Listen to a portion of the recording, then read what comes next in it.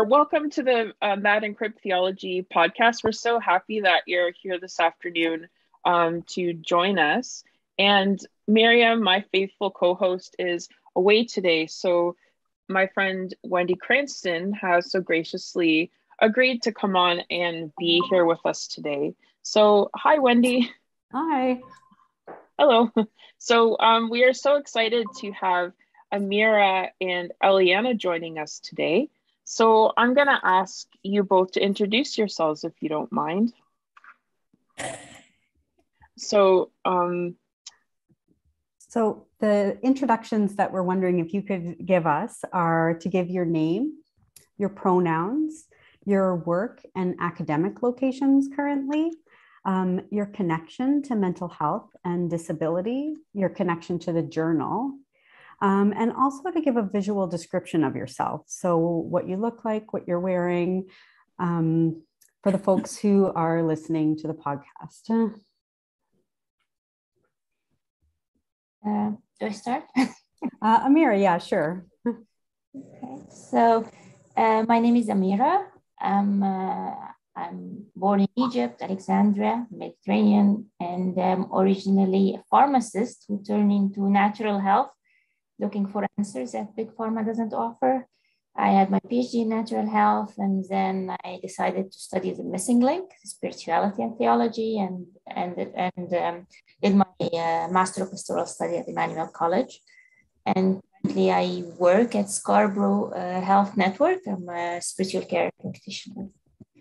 Um, my uh, connection to the journal, um, maybe I started uh, I, I, consider myself storyteller and mixed media artist. I'm obsessed with art journaling and art quilting. And I, for year, for some years now, I held a women retreat uh, called Healing with Art and Stories. And I guess from this retreat was born the idea of the paper that I published in the journal. So a journey of uh, women and use of art and connection with the body to uh, to achieve the transformation. Uh, my visual description, I am uh, Middle Eastern, so I'm I'm not white and I'm not exactly brown, so I don't know what color exactly I'm. Uh, uh, I have uh, greenish blue eyes. I wear glasses. I wear the headscarf, hijab, and um, I'm wearing a blue uh, shirt and bright yellow uh, cardigan. I my headscarf is the same colors, and uh, I love colors and, and matching colors. And this it's basically this is uh, what I'm wearing. Yeah. So, Mira, thank you very much. Eliana, would you like to introduce yourself? Yeah, actually, um, it is hardest. what, what should I do? My name is Eliana Ah-Rum Ku. I'm in Korea. I'm, I'm Korean, definitely. and um, uh, I am awarded PhD in homiletics at Emmanuel College uh, last summer. And my convocation was definitely mid-May, this May. Congratulations. Yeah, thank you so much, finally. yeah, but I couldn't attend because I'm physically in Korea. Um, and I am a mother of two children. Uh, uh, my daughter is um, teenager, and my son is yeah also teenager, but he's in grade school. Anyway, and um, uh, my uh, yeah my academic vocation and I did. And uh, yeah, and my connection to mental health and disability journal, I recently published uh, uh, an article about um, postnatal depression and put washing in lament language. so yeah, I am very excited to um, converse with um, in podcast and um, oh my visual description. Yeah i also love colors but i'm wearing black shirt because because 2 a.m right now. Yeah, and I'm wearing um, glasses um, to screen um, what is it? The, the blue radiation from computer. So it looks like you know dragonfly is it? Yeah. And yeah quite um uh, quite quiet around me because everyone is sleeping. Yeah that's me. Thank you. Well, thank you so much, uh, Eliana, for staying up this late to talk to us. We really appreciate it. And if if we see you nodding off, we'll we'll do a little dance or something to wake you up. um, and we want to say how much we just uh, appreciate your contributions to the spring issue of the journal. And um, so the first question that we want to ask you both relates to uh, when Miriam and I usually think up the questions, we try to think of um, similarities between people's pieces, and we were thinking how how similar there were similar themes in both of your papers that you wrote. This idea of um, the context of women and also uh, issues around depression. So we we wanted to ask you. So this question is for you both. So you both uplift the significance of women's experiences of depression and we wanted to ask you can you tell us if depression is normalized in your faith communities or how this might become so? So, Amira, I'm going to invite you to respond first. Um, okay, so, well, I, I don't think it's fully normalized. It's still a stigma. Uh, it's, of course, I, I, there are a lot of advancement advancement on how it is now people can talk more about it but still it, it's still seen as lack of faith lack of gratitude even the, the woman that uh, herself feel guilty and ashamed and feels that she's not good enough if she has some form of depression. And what's interest, interesting thing also I, I recently noticed that medication has become to some extent normalized. So it's they they talk about oh i'm taking medications. They don't call them antidepressant they just mm. Uh, medication and uh, maybe the brand name but not the, the word depression itself is not uh, fully acknowledged. And um, but the use of medication although it is good I'm, uh, of course I'm, I'm not against medication in any way but it, it's good that it's um, it's normalized but in the same time it, I, i've seen it that it is used as some form to avoid dealing with the depression itself, to avoid engaging life, and sometimes even re- enhance in uh, enforcing the the victimhood mentality of the woman. So it become easier to pop a pill than to dig deeper or deal with emotion or make some change in life. So yeah, unfortunately, so it's still a lot of work to be done in the community. Well, thanks that's really helpful. And um, so, what are some of the things that you think, Amira, should be done to help normalize depression? You were talking about like uh, calling calling the pills what they are. That mm-hmm. might help. You know. Yes. Yeah. And, and and what else? What else comes to mind? Well, I, I guess we're always maybe as care or psychotherapists or even doctors it, it have been with uh, sometime talking as the expert in the field, but now I see that we are now within the people talking about our own experience, our own struggle, our own life challenges. So having this some form of self-disclosure, making this safe space so everyone can talk about it's a normal thing and it's not but again, not falling into the victimhood mentality again. It's this fine line between normalizing it, but in the same and, and talking about it, talking about your experience in the same time, open a safe space for the woman, for the woman to to talk and to share their own experience. Thanks so much, Amira. Yes, and I'm sure some of a lot of the work that you're doing um, at the hospital provides that safe space for women to talk about this. So, so thank you so much for that work that you're doing. Thank you. And uh, Eliana, what about you? Um, is is depression normalized in your faith community in Korea?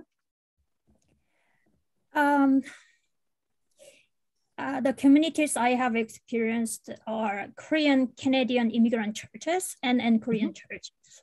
Mm-hmm. Um, these churches, these faith communities are similar yet different.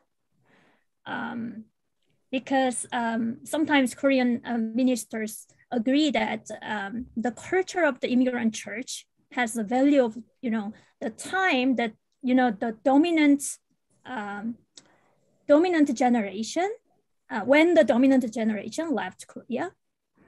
Uh, in other words, um, I'd like to say um, that um, um, the values of Korean church uh, can be a little more um, flexible and open to change. So that means uh, like it, you know, the normalizing depression depends on cultural characteristics. But in the same culture, like Korean culture, there's some kind of, you know, variation, variations and differences.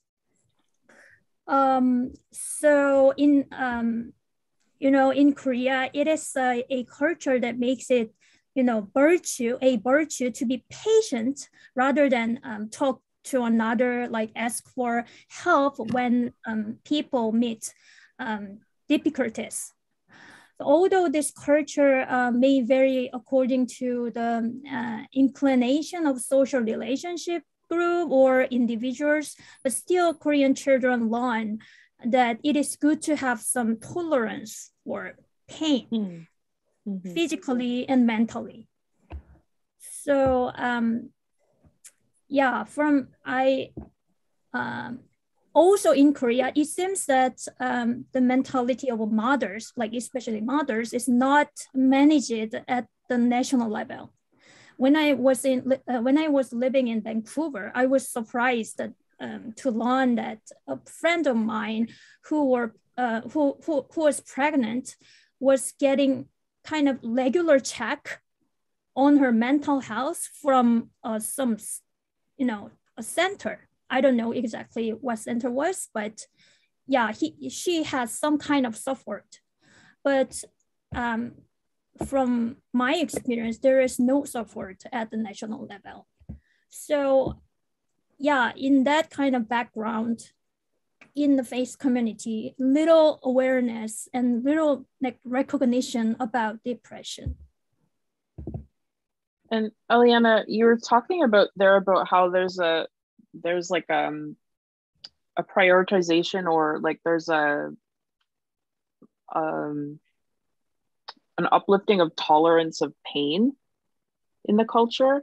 Do you think would you equate that tolerance of pain to like um a normalization of suffering or is it more like uh like um sorry my brain's not working. Like um thinking that suffering is a part of a woman's journey and it's something that people might praise them for this suffering. Mm. or or not. You know uh, maybe bearing their cross or taking up their cross. Is there any of that? Uh, it's um, um, quite complicating. of course. because, you know, many situations and operations are mixed and multi-layered. Mm-hmm. So um, in culture, it, especially Korean culture, we have three main religious traditions. Confucian, Confucian, Confucian culture and Buddha, Buddhism culture and Christian culture. And um, based on um, yeah, uh, based on shamanism. So mm-hmm. quite mixed up. In, in that culture, um, to understand the suffering, especially for women, it's not um, quite normalized to open up to the public. For men, it is um, more hard, you know, it is harder to express their suffering. But yeah, for women, um, it's hard to because it's not a social virtue. The tolerance mm. is a social virtue to yeah I deal, see. With, deal with their suffering. I see. Okay. And so, uh, what would you say? I mean, obviously, your your paper that you submitted for the journal that talks about um, postnatal depression and is a one way that we can um, help to normalize uh, depression in the community because we're talking about it. Like Amira said, we're opening up the space and we're saying this is something that a lot of people experience. Um, so writing about this, talking about it, getting it online is so important. Is there anything else that comes to mind about how depression could be more normalized in the in the community for you? Yeah, for me, like using using lament language in solidarity. Like I, uh, when I uh, suffered from depression, it, it was quite severe. Um, I wanted to feel like some kind of uh, sense of connectedness. Mm-hmm.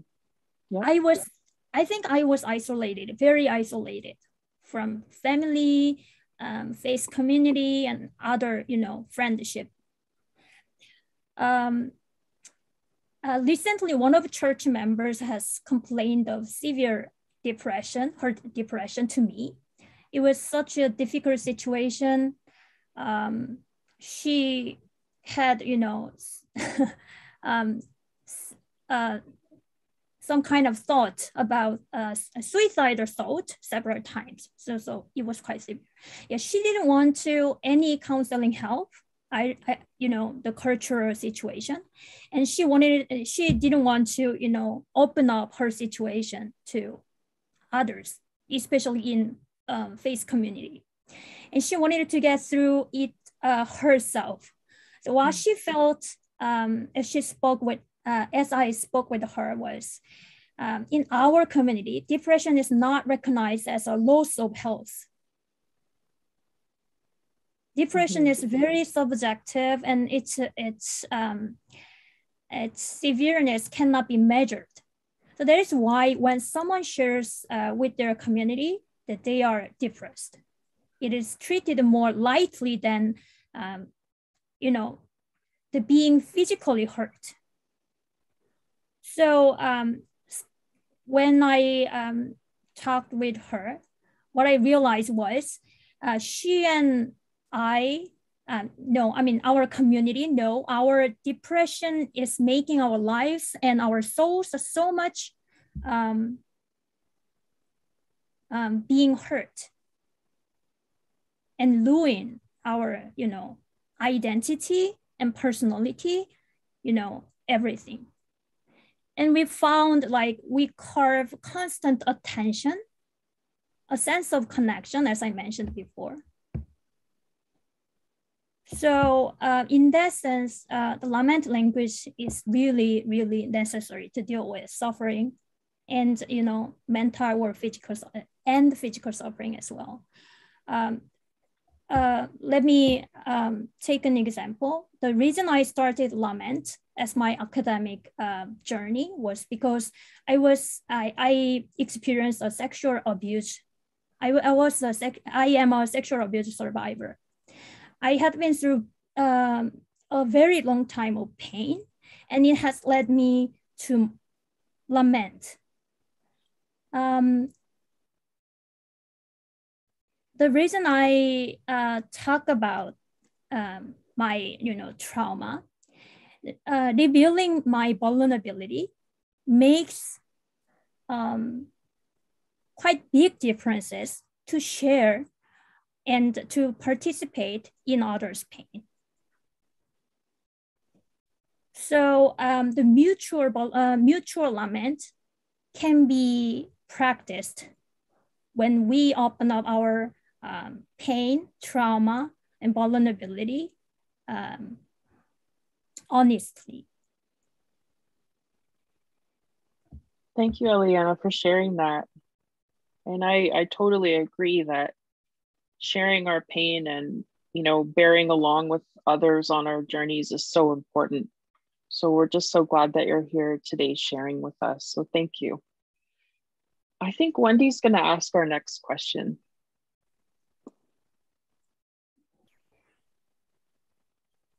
Um, Eliana, the next question is um, is for you, and I think that it's a carry on of the conversation that we've been having. Um, you said in your author's note that when you experienced postnatal depression after having your two children, you received no help from your faith community. Thinking back to that time, what would you have wanted them to do for you? What would you have wanted them not to do for you? Yeah, especially language was important to me. Like as I mentioned before, like someone uh, likely say it's gonna be okay. it's very normal, and uh, you need to like endure, or God will heal you, something like that. It's kind of you know quite uh, fantasy word for me because my reality and is quite far from what they said. So, um, you know, hopeful kind of saying was not helpful, definitely not helpful to me. Instead of that kind of wording, um, lament language was very helpful to me. Just some friends um, lamented with me, uh, sometimes in silence, sometimes in crying.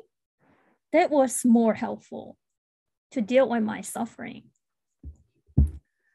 Um, and uh, for me, um, in my situation, I was so young. I, I, I am pregnant. I was, when I was pregnant, I was only 24.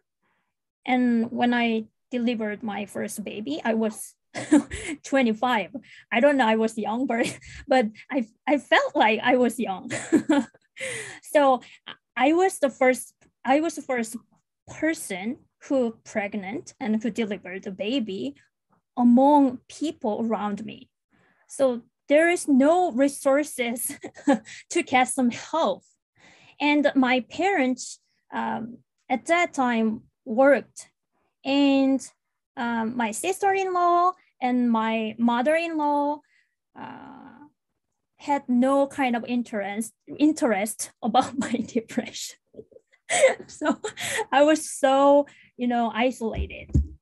Also, I was a, a part-time pastor in my faith community, and my social location, uh, I think, prevented to open up my depression to the public because you know um, I felt like I have to be faithful and I I have to be strong, something like that. So I don't want to um, show my vulnerability to my, my faith community.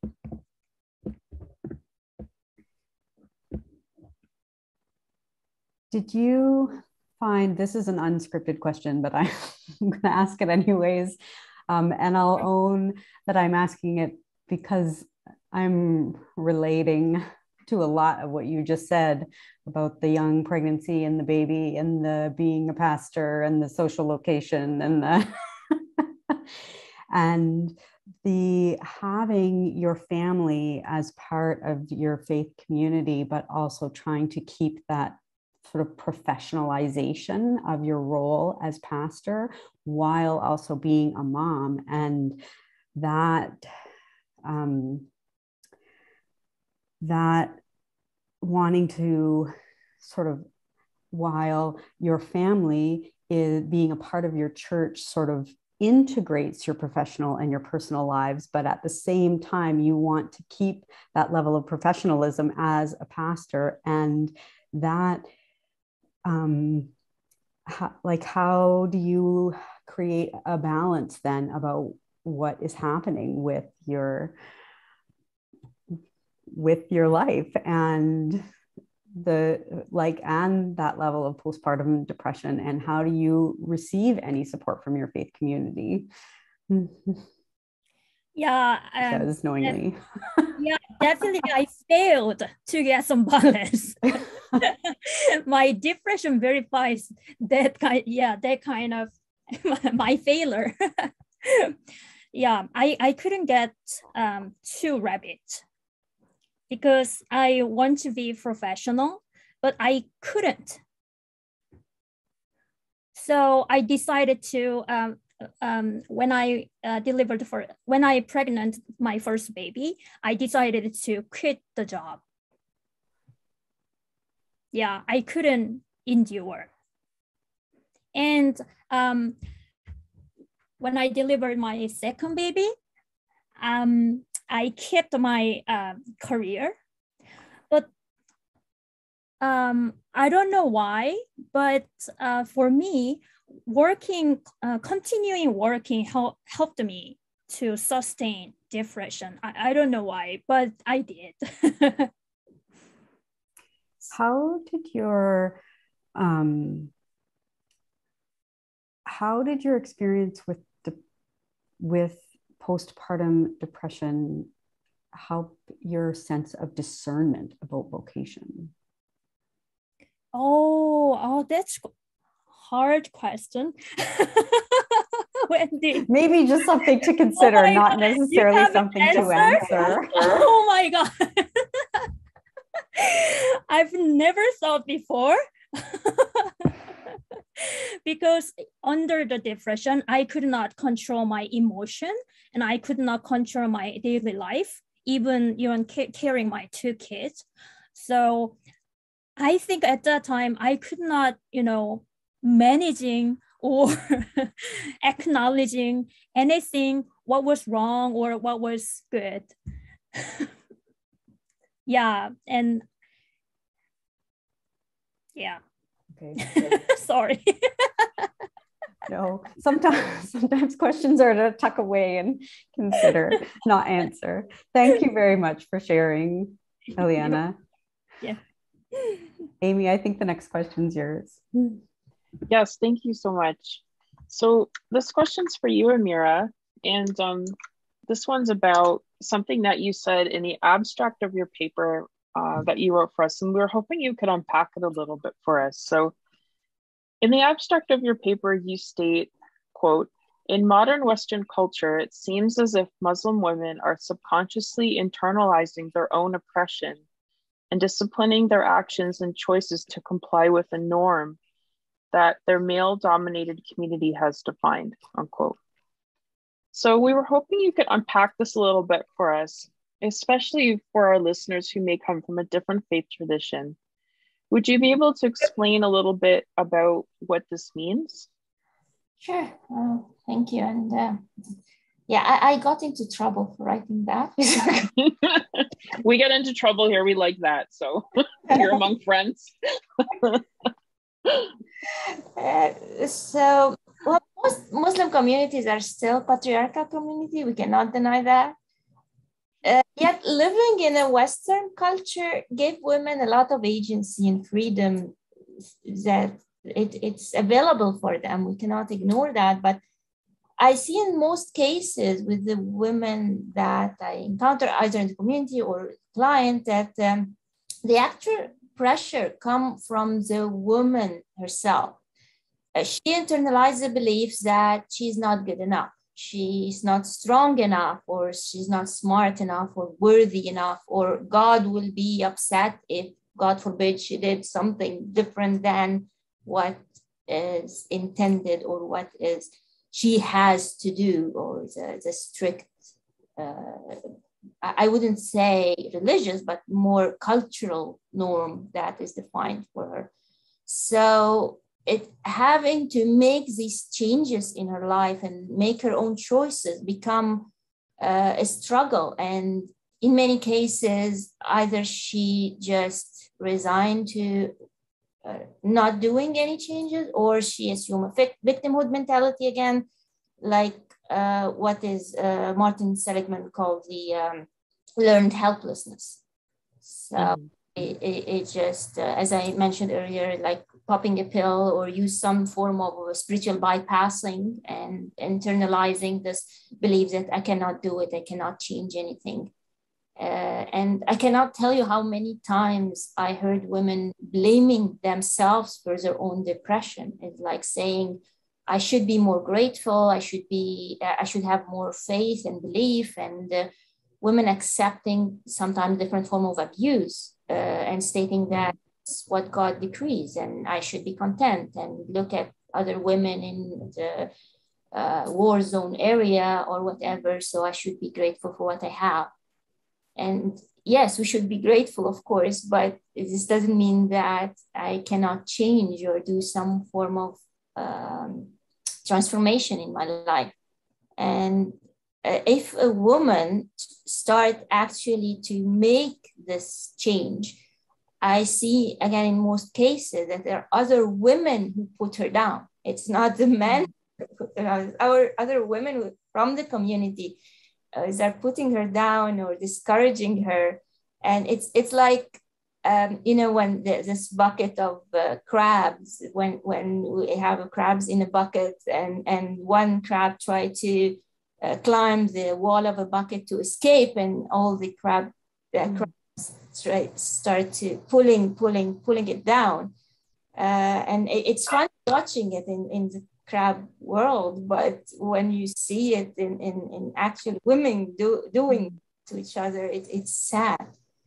So it's um, so the pressure come from from the woman themselves, from within herself, and from the women community around her. Unfortunately, most of the cases that I've seen. Thanks. That's really helpful. And I, I guess I, as a follow up question, I want to ask you do you think the crabs are always going to be stuck in the bucket? Do you think that, or do you think that, um, you know, one crab will get out and then we'll grab onto another another crab? And what what do you think about the bucket? Uh, well, talking about sharing stories, I did escape the bucket, so it, and it wasn't easy and it wasn't pretty, but it's. Um, it, it's doable. I've seen so many women doing it, and it's not about being rebellious or uh, rejecting tradition or religion or even culture. It, it's about just uh, having your own voice and be assertive in, in, in your way and making your own choices. So it's some people gonna like it, some people want, and, and that's okay. Yeah, yeah, that's that's awesome. I I wanted to just ask you about one term that you used just before about spiritual bypassing. Can you tell our listeners what that is in case they've never heard of it before? So, spiritual bypassing is like using uh, the spirituality or, or religion to to, to by, bypass your hurt, your uh, your wound, and saying that uh, yeah, I'm uh, this is gonna uh, wipe away away my sins, or this gonna make uh, this is what God decrees. So, and I'm grateful and again it's it's we all believe that or in my my we believe that if you have go through suffering it's, it's just god gave you reward for that and, and you should be grateful for anything and we don't deny this part but uh, the, uh, spiritual bypassing is when i use this to stay into my uh, situation that it's uncomfortable situation and i don't do anything to try to change it. And, and this is what is not meant by by religion basically or it is not what is recommended by the yeah that's so helpful. Thanks amira i'm sure um, any any of our listeners who whose attention was piqued by that you could do um, some more research on spiritual bypassing. So thank you so much. And i think wendy's got our next one.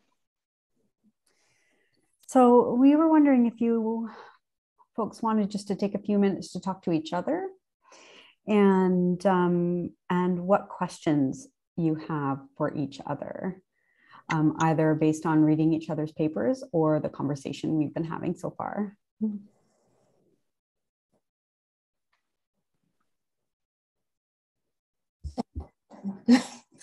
Yeah, actually, I have five questions.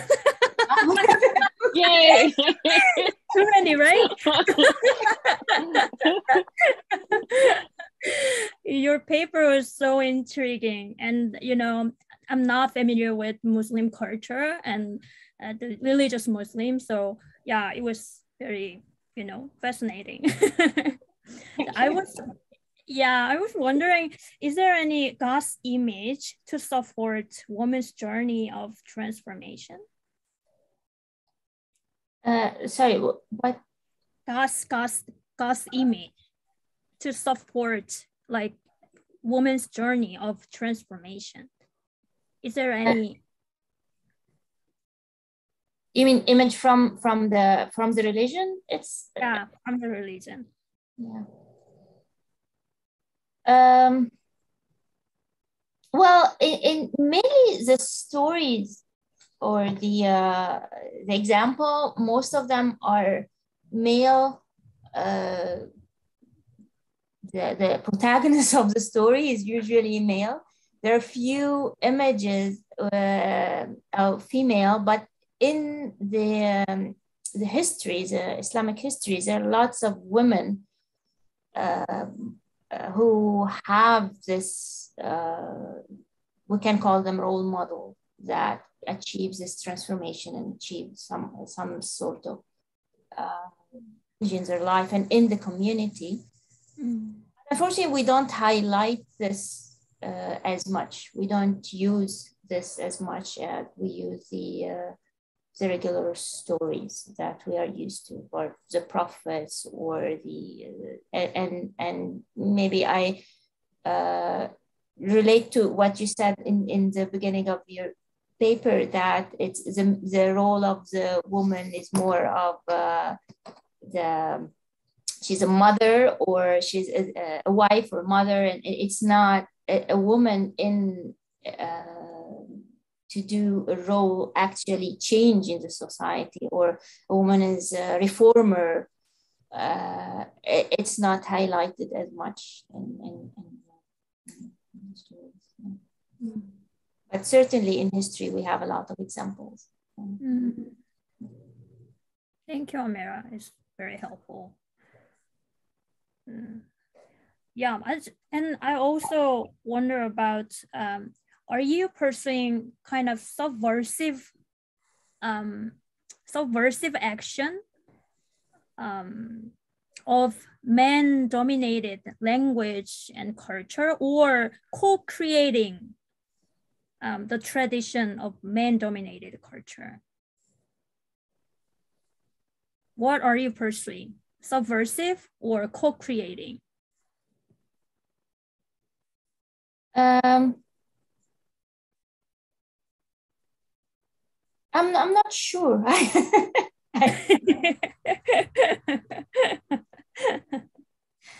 well, I, I, don't usually like to put things into boxes of specific uh, way of, of doing or seeing uh, things.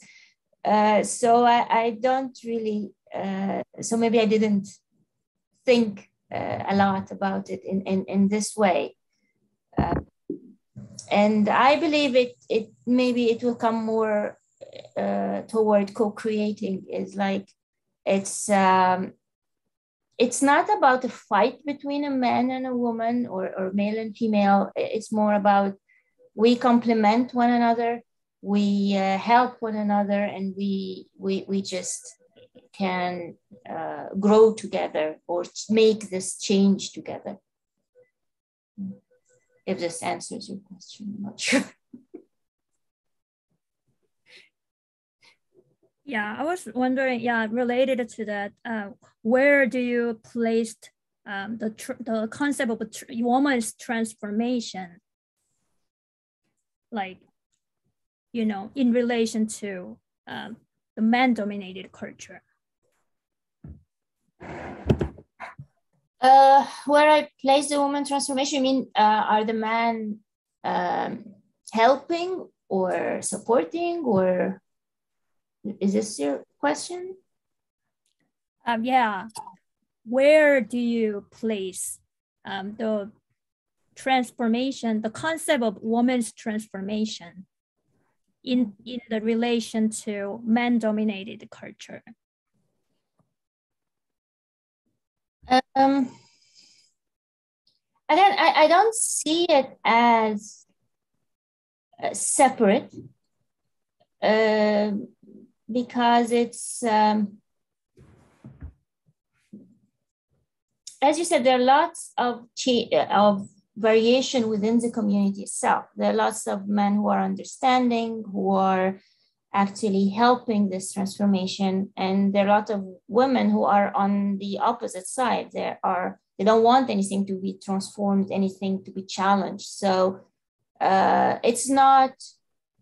Uh, it, it doesn't fit into specific uh, pattern. It, it's just a lots of it. It's it depends on the person, on the context, on their own story. So it's very personal for, for every woman, her own transformation. And I've seen women who are satisfied with with what the little change they get, and they actually achieve happiness within maybe for for me i would a situation that i would not accept. And but they they achieve their happiness. They achieve it so they are happy. They, they are fine with it. And other women who want more who want more change and more transformation on, on a bigger level. So it's uh, it depends on the woman uh, herself on the community on the support she's getting on the the mentality of the people around her. So it, there, there are lots of difference within uh, or a lot of variation within every story. So quite subjective concept. Yeah, yeah. So do you are you using like the concept of moral agency to Muslim women? Yes, it's very important. Yeah, the, the moral agency is very important. And again, it's uh, although there are some ontological beliefs, uh, they're still uh, subjective to every woman. What she believes that is um, the morality and the beliefs and the um, the values that are most important to her with mm. her her belief and her understanding and her own agency within this her own belief mm. yeah and one more interesting thing uh, when i read your paper um, i could not recognize um, the concept of um, you know uh, concept of lament or you know grief something like that. How to deal with depression and you know social oppression violence onto women. How to deal with this? Uh, this is uh, from the model it's a part that is the innermost cave or the belly of the whale. This is a yeah, yeah. woman uh, maybe I didn't use the same wording, uh, the, the language of lament, but this is basically what is meant to have this intimate conversation and intimate connection with God, talking to God, mm.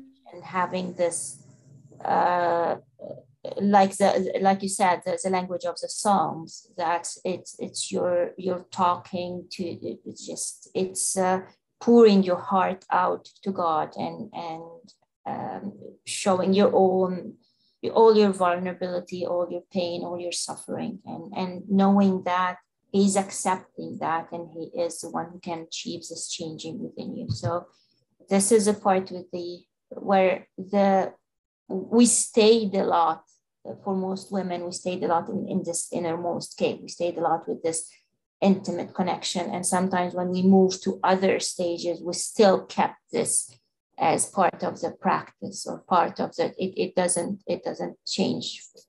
Uh, and for me i still have this this uh, this part of my self-care. It, it's always having this intimate conversation intimate talk with god. Yeah in in in in the case of lament ha, lament has dual relationship like with god and with public Mm-hmm. So uh, when you mentioned about um, the cave and intimacy, is there any other connection to other people around us? yeah, this is moving out when the the next step after the uh, the innermost cave is a transformation when she finds her own voice and having this uh, understanding of this uh, balance between having their own voice and agency and surrendering to the divine, surrendering this voice to the divine will. And then come the road back, where Joseph Campbell calls the road back.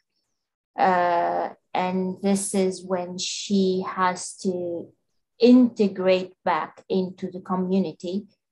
And for some women, could be the same community that she comes with. And for other women, they have to find their own community, their own support, where she can uh, share her voice and be herself within this, this community. Be uh, and uh, like share her story and not be ashamed or feel guilty or uh, having this uh, assertiveness again to to to be herself. So in Joseph Campbell models, is resurrection occur when only occur when you have to take this road back to community and integrate into the community. Because having your own voice and having your own a- agency doesn't mean anything if you stay into your home into your cocoon and and does do, do not share. As you said it's uh, it has this dual part. You have to and it takes a lot of courage. With of courage to reintegrate back and, and with all your wound with all your vulnerability and, and go back to, to this uh, either find your way back into society again. Yeah from from my understanding your stages are not linear but circular right? Uh it's well, for, to, for simplification, I, uh, I make it into a cycle, but it can be, uh, we can work on more, uh, more than one stage in the same time, or we can go back into the stages and, and, and uh, work our way back and then come forth. So it depends on everyone and everyone's need and everyone's story. How, how do we recognize we are transformed? when the woman feel that she found herself found her voice this is me this is who i am and uh, i am not afraid of sharing me and who i am and my identity uh, with, with others. So this is when the transformation doesn't mean that I solved all my problem and my life is like a fairy tale now, uh, but it means like it's it's like it's an inner, more of an inner transformation. That's finding myself, finding my voice, finding my true identity. Thank you for answering me. It was too much. I hope it makes sense. So it's like Amira, do you have any questions for Eliana or any uh, comments on her paper? Yeah, sure. I um, first, as you said, Wendy, I I relate a lot with uh, with Eliana's paper. Also, it's um, especially when you said I didn't know what was happening to me. So this is exactly what I felt after when I had this postpartum depression. Is not a concept. Now we know it, it's called postpartum depression, but at the time when I had my children, 24 years ago, it wasn't, um, it's, it, it, just, and again, I fell into the same trap of, uh, I'm not grateful. I should be grateful. I have everything. It's lack of faith. I had to connect more, more with God. So I relate a lot to your, to this part. And um, when also you talked about the socio-cultural norm that a mother uh, should be happy, should be excited. Uh, and this was not uh, my feeling. I, yeah, of course, I have this. Uh, this is having a baby is oh inspiring and it's a blessing and it, I'm very grateful, but it comes with a lot of fear and it, it, it doesn't come with this happy, excited things. So it's and, and also there is a hormonal mess in it. So it's not. Uh, there's a pressure on the woman to to to fit into the social cultural norm. It, it makes sense. Yeah. And I, I found the approach of the foot washing is very interesting. And, and I love how you portrayed how a simple rite uh, can make a huge difference and how uh, y- you tied it to the biblical teaching of hospitality and the language of lament. And, uh, and I think the Middle Eastern culture, we have a ritual of foot washing, but it's a women who do it for their husbands when they come back from work. Oh. And it's uh, it, it, it is seen as uh, at the end of the day when he come back to work. So you're welcoming him with grounding and relaxing and honoring. Of course, in, in our time and day, we don't do this. I think it's in the time of my grandmother, they used to do this was a, a normal thing for a woman to do to, to her husband. So it's uh, it was interesting to see it in I, I never thought of it in the reverse thing. Uh, so maybe my my question uh, would be I wonder if you uh, took further or intend to take it further into practical application within the community within the church and how does practical practical application look like whether in uh, with the church community or at home is the husband involved and and can can how can this be applied uh, practically? And uh, maybe uh, the second question after to the second question.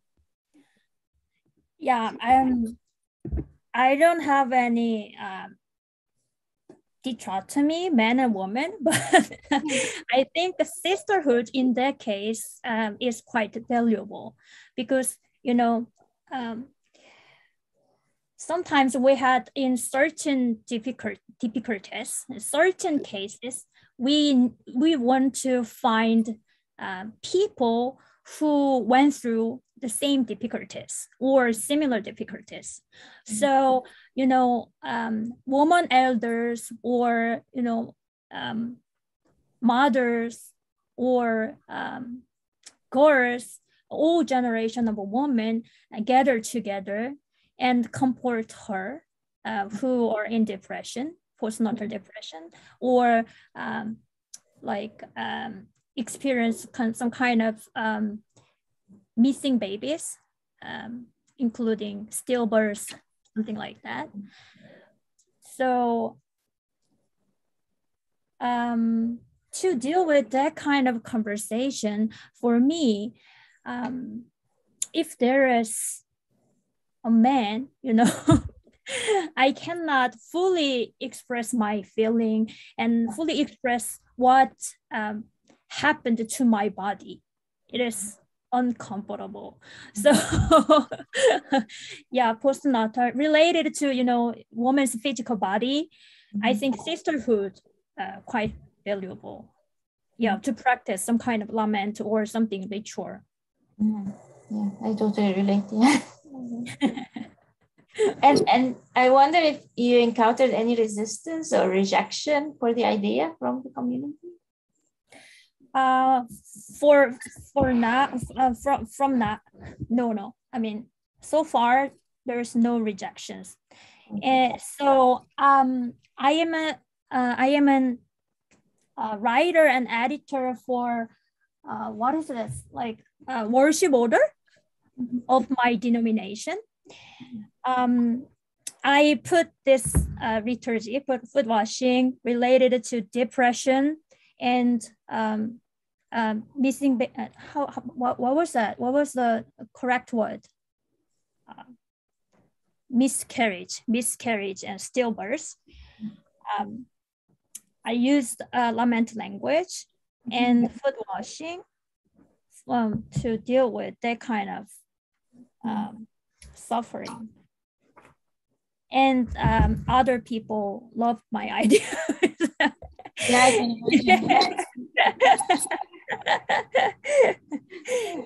yeah, but I expect some kind of rejection. If someone doesn't like um, to talk about her own suffering, mm-hmm. about very personal thing. So mm-hmm. yeah. Crabs in the bucket, yeah. uh, right. thank you. Well, thank you both so much for sharing. And we just have one question left uh, that we ask everyone who comes on the podcast, and we just want to know how do you take care of your soul as you're doing this work, uh, especially for both of you who are digging into some difficult topics um, like depression. So, Amira, what does your self care look like? Uh, you mentioned that you go to the cave and you talk to God as a part of your self care. Is there anything else you want to share with our listeners? Uh, well, this is one one very important for me. Another thing is my art journaling.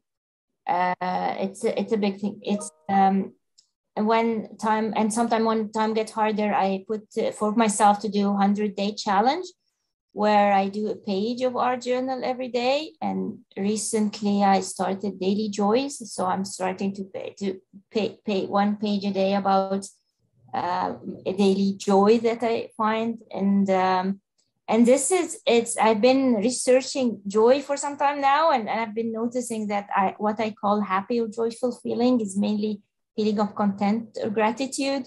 So this is this fine line. So I wanted to learn or teach myself how to add more joy in my life. So this is a doing through art journaling and uh, one of the, the the, thing I uh, I found in, in, in this journey that it, it was an 11th century Muslim scholar who described joy as, as sitting on three pillars. One of them is the first one was anger, which was very interesting for me that one of the first pillar of joy he defined as anger. And, and i felt this is the missing part. So i'm using my art journal to explore this now. And mm. um, i noticed that my art pages become more messy and chaotic and random.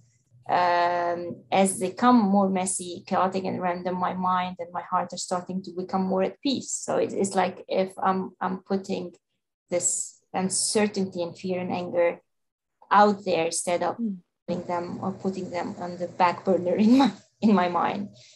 Uh, guess another soul care for me is experimenting in the kitchen. I have uh, a little herbal apothecary, and uh, I love to play with herbs and spices and teas and recipes. And my kids call it uh, "Mom is uh, preparing her witch brew again." So. That's cool.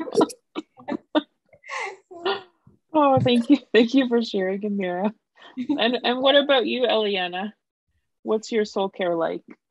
Um, my soul care is just letting me um, have kind of freedom to complain to God about my situation and anger at God. mm-hmm. Sometimes crying uh, makes me breathe. So I uh, usually let me immersed enough in my feeling, let me down enough. mm-hmm. And um, I usually do not find some kind of piece of some piece of joy, but um, caring others helps me a lot. Sitting with them and listening listening to their stories, especially you know suffering experience, and hug with them, something like that. oh, that sounds beautiful. Hugs are so good. Well, we just want to say thank you so much for coming on and sharing your stories with us today. I feel like it's been a real powerful time of sharing. So thank you. Thank and you. Uh, are there any any last thoughts you want to share with our listeners before we go?